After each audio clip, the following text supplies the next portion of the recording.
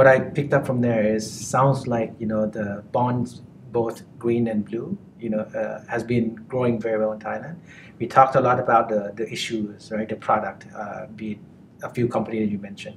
Now I wonder, you know, what kind of people or institute actually buy them, you know, from the from the from the demand side. Maybe Dr. Surapon Cup, um, you know, who is the typical investor when it comes to this type of innovative, you know, financing products? What is in it for them? It used to be that uh, the main investor, uh, uh institutional investor, uh, particularly from abroad, uh, mm. ADB is, is one uh, such investors. You can see that uh, the trend of the investment, uh, not only in the green and the blue, but on the uh, sustainability as a whole has been growing. Mm. the mutual fund or the private investment fund that contribute responsible investment has been growing exponentially in, in Europe as well as in the US. Uh, for the Thailand case, uh, we also observe such trend. At the currently, there are uh, close to 60 uh, funds in Thailand that invest in the uh, sustainability theme. what we are seeing now is that in, in addition to the investment in the overall arching of the sustainability theme, more and more funds start to invest in the specialized theme. for example, on the climate risk or in the gender mm. or on the human rights issue. Uh, as well as uh, some specific fund, uh, maybe uh, the ocean friendly, the blue bond included, has begun to emerge. this is from the institutional side. During the COVID crisis, we noticed something different is happening. we noticed that the retail, the local retail, starting to be more interested in sustainable stocks. Uh, this also applies to the, the green bond. Uh, as I uh, follow a lot of my colleagues uh, in the listed company that has issue, we noticed that it used to be that in the past, institutional investor are the main, the primary investor. But in the recent times, uh, the bond is more distributed to retail, mm. high net worth, and others. And this also in conjunction with uh, another survey that we did uh, when we try to learn the investment behavior of, of new gen, uh, Gen Y and Gen, gen Z. Mm. Um, it turned out that uh, uh, the younger people, uh, they invest to express themselves. Mm. So they will invest on investment that is in line with their belief and uh, sustainability issue, the environment issue is one of them. I think has been very good, interesting conversation so far. Uh, what I heard from the previous episode is that the ecosystem infrastructure is being built uh, quite firmly now. And from this conversation, I know that you know from the demand side, things are looking up, uh, and from the supply side, also people are coming in and, and utilize innovative financial um, products.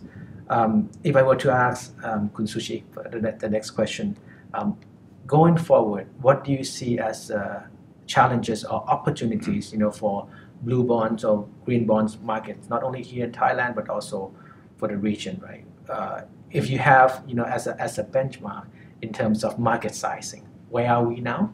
and and going forward, how much we can expect this market to grow? You know. Yes, uh, yeah, that's a very uh, good and important uh, question.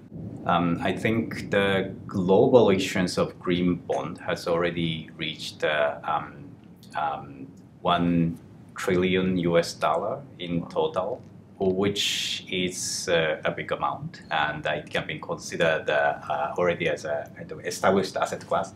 But um, considering the the, the big scheme of the global capital market it's just uh, still a fraction of the entire bond issuance uh, or the capital market. So um, there is still uh, a lot uh, uh, we can do.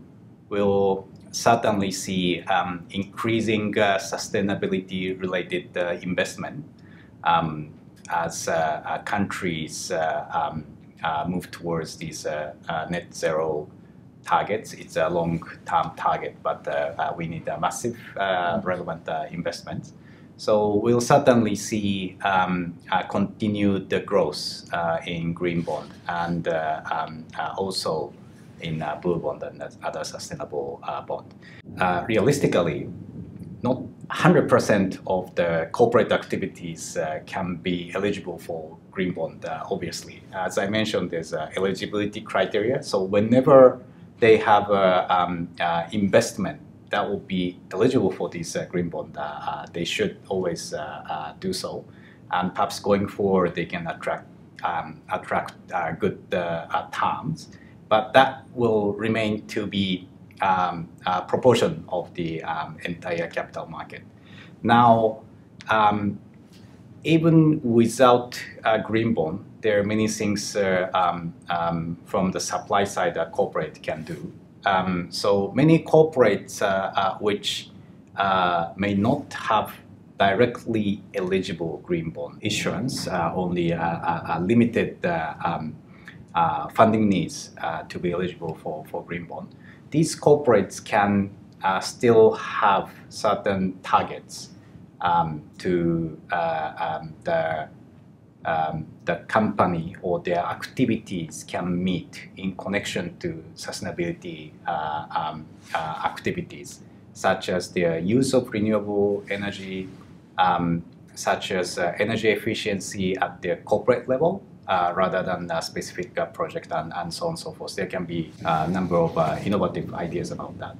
If that's the case, um, even if it's not the, a green bond as such, the corporate can go for other instruments such as sustainability linked bond.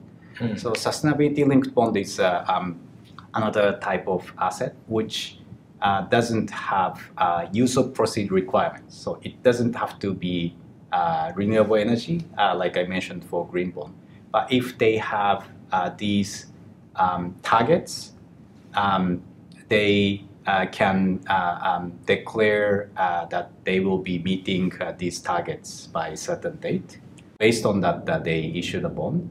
And by meeting or failing um, those targets, the, the coupon can go up or down. This kind of bond, it's not going to be bound by the use of proceeds. I think it can uh, create opportunities for um, other issuers to be engaged in this sustainability uh, agenda through uh, capital market exercise.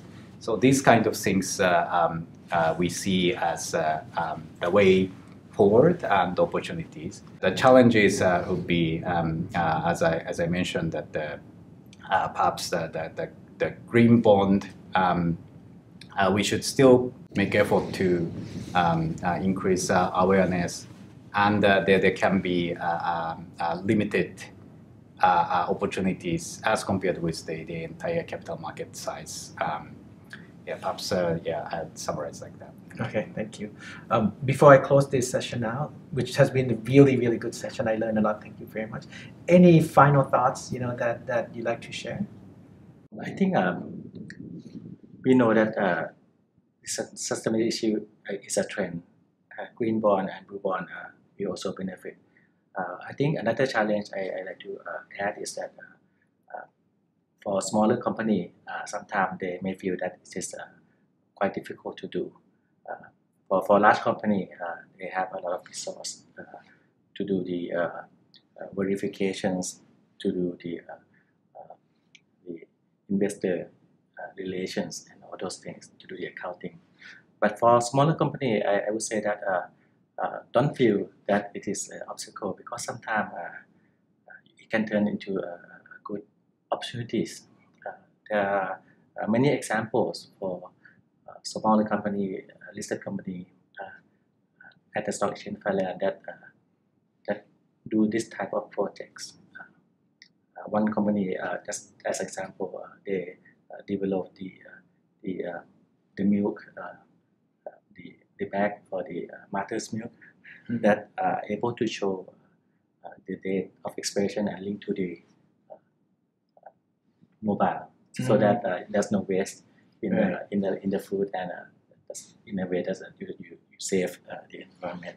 So, so this type of thing, uh, or this type of projects, uh, maybe not for green or blue bond, but it's something that is in the trend of the uh, sustain, sustainability, and it could be the opportunity So don't give up, and there are always something that uh, we all can do.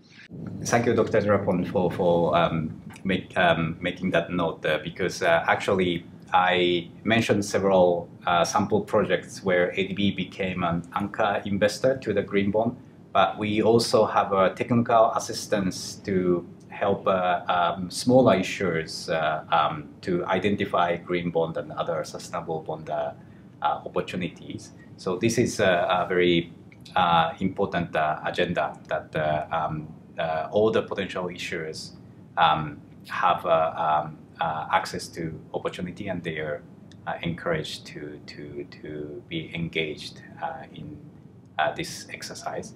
And in fact, um, Thailand has um, its own depths of capital market. It's good that it's um, uh, mostly dominated by um, uh, uh, local investors so far for market stability.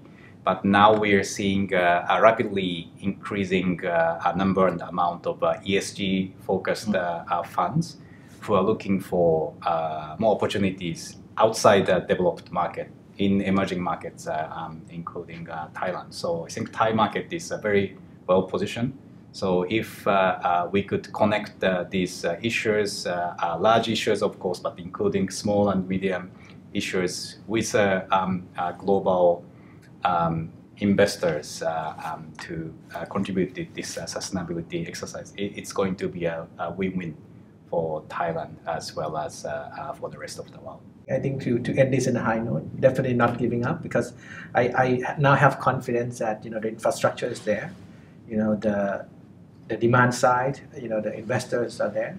The supply side, the issuers are there. And, and from, from uh, Dr. Surapon's uh, data, I'm very happy to hear that even the retail investors are there, right? And the SMB, the smaller uh, uh, business, they, are beginning to uh, to accept uh, right. this type. Yeah. So I think you know we are we are in a good place, you know, in terms of mobilizing you know financials into low carbon projects to help mitigate and uh, climate change and also adaptation. So with that, thank you so much, you know, for this conversation about blue bond, green bonds. Uh, has been a very colorful conversation. ขอบพระคุณครับ thank you ขอบคุณครับ